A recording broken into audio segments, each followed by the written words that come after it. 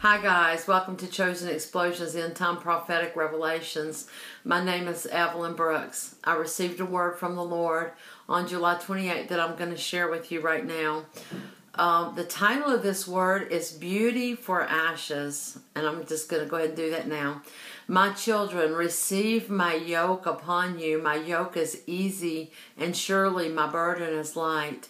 The yoke of your enemy is hard, and his burden is oh so heavy. Cast off your chains and take upon yourself my yoke. My love for you is great. Why do you struggle so? My ways are perfect. My love constrains from death. My yoke establishes justice and holiness.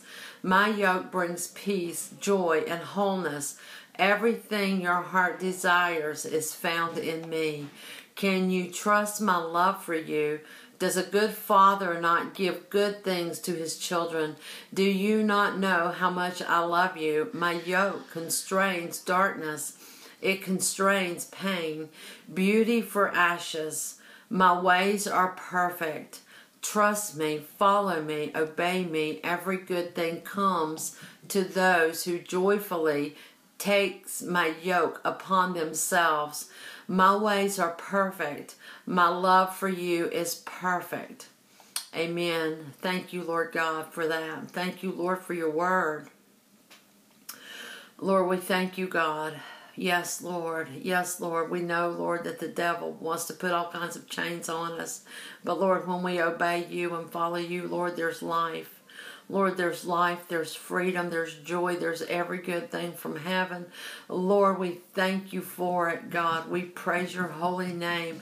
Father, I just lift up your people right now, Lord God, your children, Lord. That God, Lord, I know that, Lord, that you have a remnant that's red hot on fire for you and that's chasing hard after you and following you, God, and obeying you, Lord God. But Lord, I know, God, that there's there's also many, Lord, who claims the name of Christ, but Lord, they go on about their business. They do whatever they want.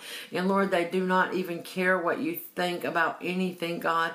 And Lord, they're so ignorant, Lord, of your ways that they don't even know that you care about what they do.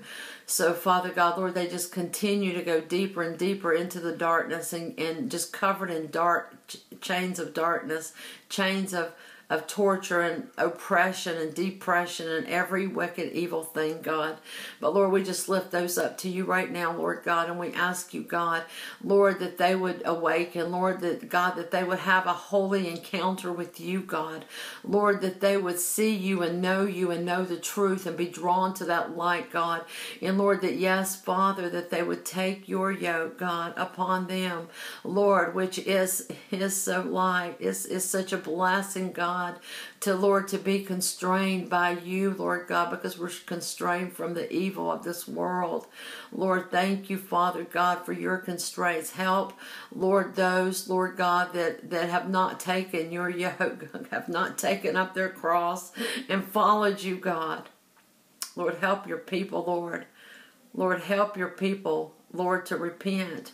Those that are walking in darkness, they claim the light, but they walk in the darkness. Lord, help them to repent of their evil ways.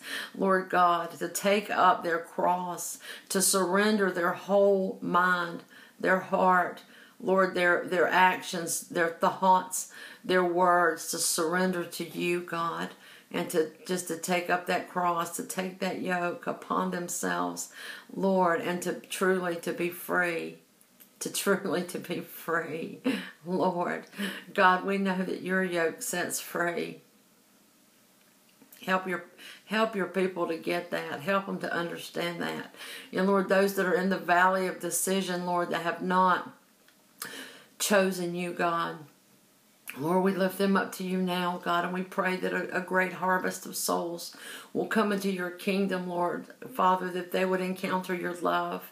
Lord, that they would know how great you are, how good you are, and that they would be drawn to you, Father. Lord, we thank you for that. Lord, I just, right now, Lord, I just speak a blessing over your people. Lord, I just speak a blessing, a blessing, Lord God, of every good thing from heaven upon your people. Lord, let signs and wonders follow them, God.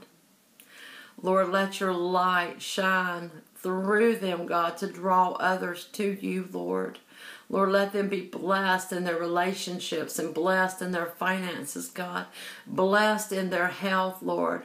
Blessed coming out and going in, Lord. Let them be blessed. And Father, I thank you for that. I thank you for that, Lord. I just bind the enemy in their life. And Lord, I ask that you would just take over more and more and have your way.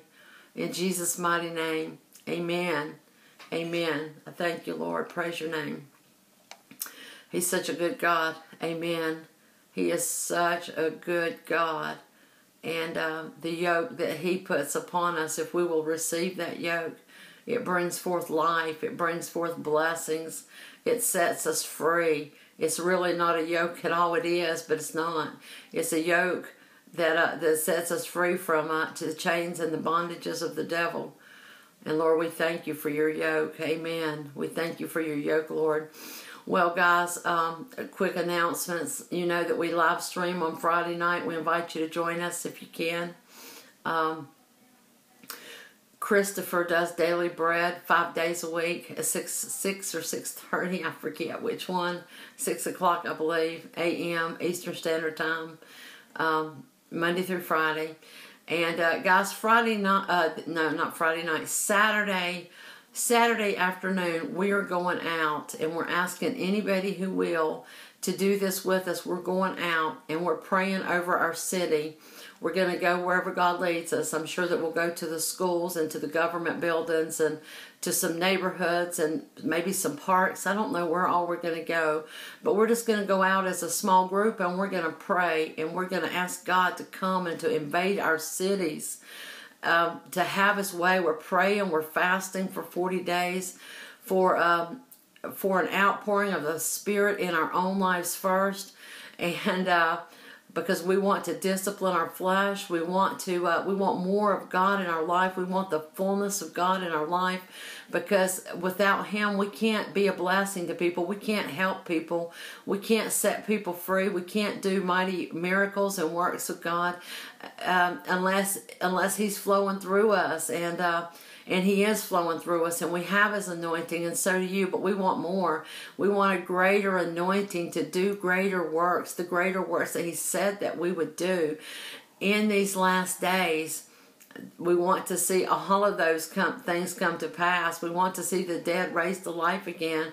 We want to see great mighty miracles. And uh, we know that that's the will of God, and so we're committed to fasting and praying. We want an outpouring of the Spirit upon our cities, upon our nation, upon the nations of the world. We want to see this more than than anything, because guys, that's what's gonna that's what's gonna uh, push back that darkness. That's what's gonna bring uh, new life. That's what's going to bring people into the kingdom of God and set people free from the chains of the devil. And uh, so we want to see that.